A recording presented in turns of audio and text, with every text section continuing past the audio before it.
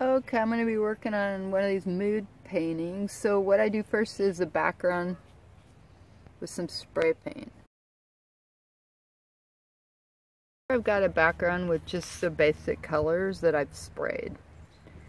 And so what I do is I'll just come over to this canvas and I'll do the dark uh, sky in the dark on the front top and, and some on the bottom and then I'll add blues, blacks, and whites. I'll leave the white like where I want the cloudy effect.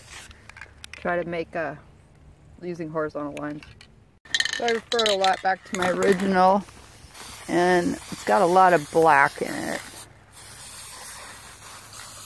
It's hard to kind of hold the camera and paint, but I'll give you an idea here.